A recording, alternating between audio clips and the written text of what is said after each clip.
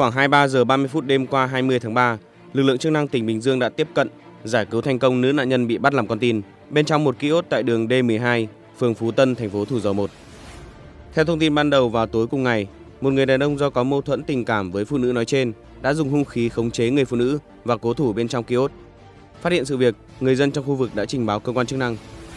Nhận tin báo, lực lượng cảnh sát giao thông, hình sự, phòng cháy chữa cháy và cứu nạn cứu hộ, dân phòng được điều động đến hiện trường. Công an tiến hành phong tỏa một đoạn đường D12, đồng thời dùng các biện pháp tuyên truyền, vận động đối tượng bình tĩnh, tránh gây thương tích cho nạn nhân. Tuy nhiên người đàn ông trên vẫn cố thủ bên trong, nhiều lần đe dọa giết nạn nhân. Cơ quan chức năng sau đó đã huy động một xe cấp cứu đến hiện trường, phòng tình huống xấu có thể xảy ra. Sau nhiều giờ nỗ lực nhưng không thuyết phục được đối tượng, lực lượng chức năng đã áp dụng các biện pháp nghiệp vụ, đột nhập vào bên trong kiosk, giải cứu thành công người phụ nữ. Cả nghi phạm và nạn nhân sau đó được đưa đến bệnh viện cấp cứu. Hiện vụ việc đang được làm rõ.